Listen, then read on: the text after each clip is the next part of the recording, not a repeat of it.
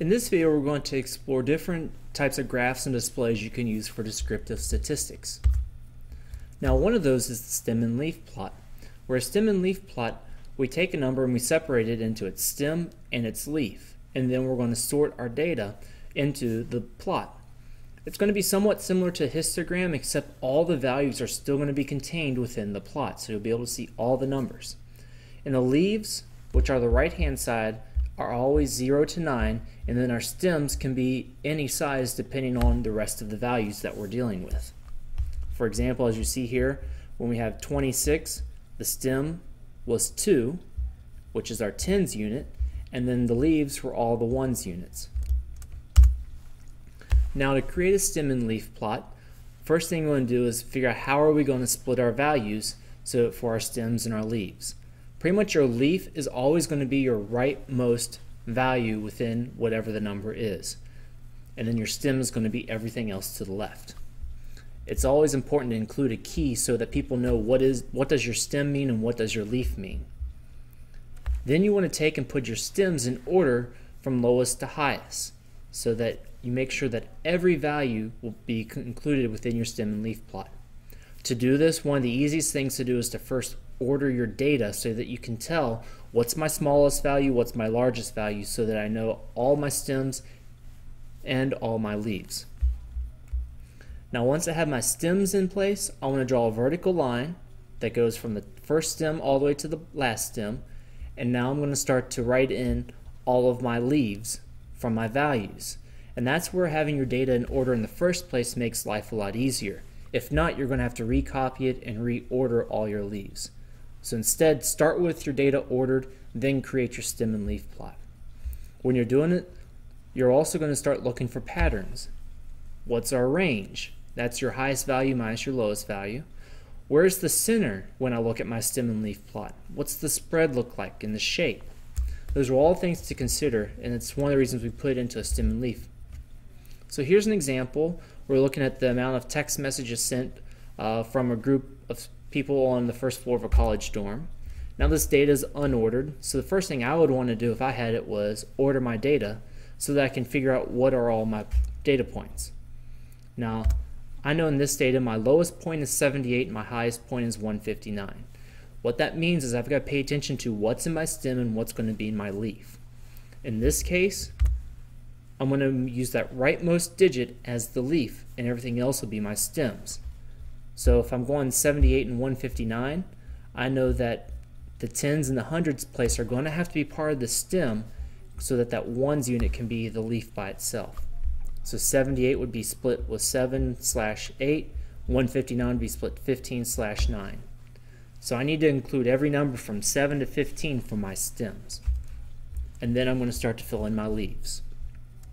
So as I do that, you can see I'd have 7, 8, 9, 10, 11, 12, 13, 14, 15, and then I just went 78, 105, 108, 109.99, 112, 112, 112, and I continue to do that.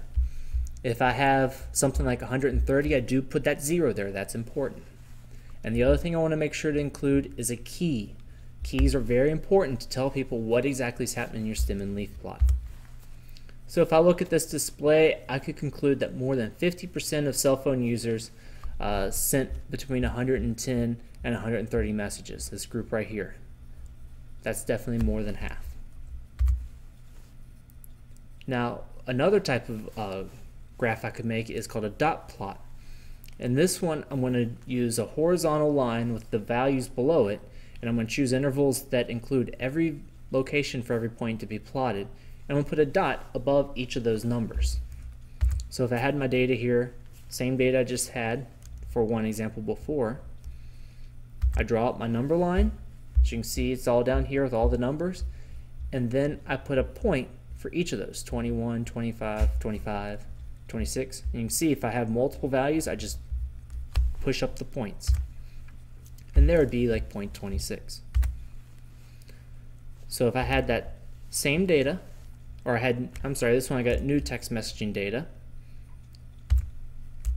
and I'm going to want to do the same thing. And I have all my numbers from 70 to 160. It is the same data here. and I just put points for every single one of these values. And you can see here at what looks like 126 it showed up 05 times within my data. And I could use that to look at the center of the spread and that type of information as well.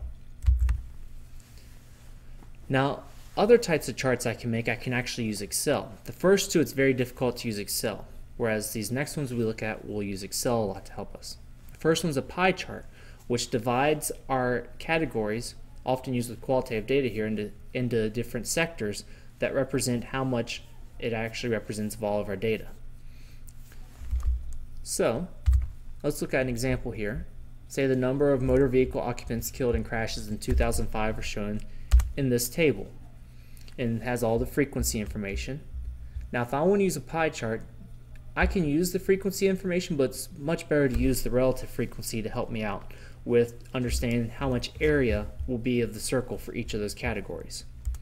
So that would just be taking the total frequency and dividing each of the individual ones by the total.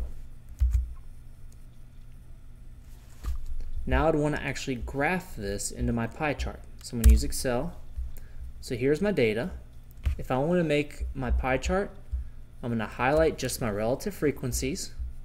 I go Insert, Pie, and I'm just going to click on the very first one. Now I need some more information in this so I can choose this quick layout and I'm going to find one that has the title at the top as well so that'd be layout 6. My chart title would be crash death or automobile deaths. Now you can see I've got the percents there already. What I do want is instead of having this 1, 2, 3, 4, that doesn't make any sense. So I want to change my key so that matches with my categories. So I'm going to right click, I'm going to select my data, and again it's that horizontal axis I want to change. That's just going to be my categories. But now if I look, I've got my title, I've got my key, and I've got the percents in there to help me out. Another type of graph is called the Pareto chart. In a Pareto chart, it's going to take the it's going to take categories, but what we do is we separate them from the greatest frequency to the least frequency. So greatest to least, and then we just make a bar chart with it.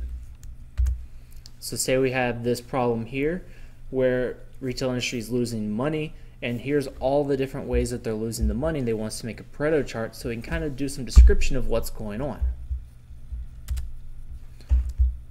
So if I come down here, the first thing I want to do with a Pareto chart so that it does put my data in order is sort it. So if I highlight these four values and I go sort and filter from largest to smallest because I want the greatest one first. It's going to ask me to expand, which I definitely want to do. And I now see that all my categories are in order from greatest to least. Now with my data highlighted, I go Insert, and I'm going to use Column, and I can just do the two column, just like I've done with the histogram, but I don't need to connect these. So an easy way to go from here is I'm going to choose layout 9 and just delete out the series value there. My axis title, I could say this is category and this is loss in millions of dollars.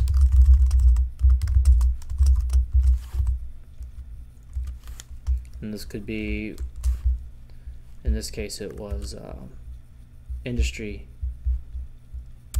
industry loss. Industry losses. Now last thing I want is to change my horizontal axis so I right click I'm going to select my data. It's again that horizontal I need to change. And I just highlight my categories. And there I have each of my categories separated so what I could conclude is that the greatest amount of loss comes from employee theft followed by shoplifting. Now my next one, the paired data set, we also call that a scatter plot. And that's showing a relationship between two quantitative variables. And we'll do a lot more with this later, but we'll show exactly how you can do this with Excel. So say that I wanted to check how the amount of time spent studying versus the grade. So again, it's two values. So I'm going to highlight both of my sets of data here. And I go Insert, Scatter. And I'm just going to choose that first scatter plot. And you can see that gives me an idea. If I looked at that, there's this general trend that looks like the values are going up as the amount of time. So it's great to have a, we don't need the series, but we definitely need our axis titled. So this was grade, and this was time spent studying. And we don't necessarily need a chart title for this. But as I can see, the grades gradually go up as the time spent studying.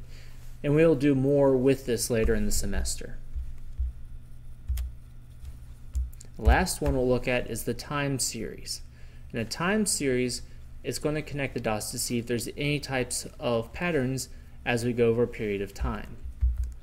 For example, say that we're looking at the telephone cell phone subscribers in millions from 95 to 2005. Again, we have our data here.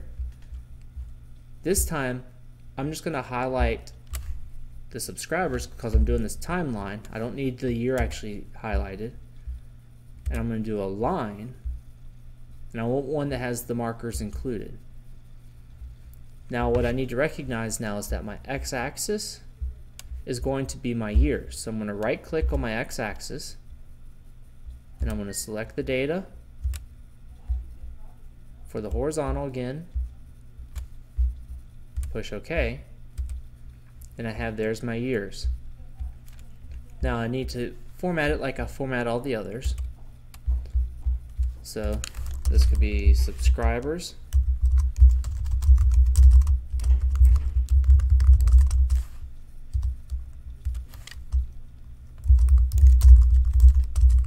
And then give it a chart title.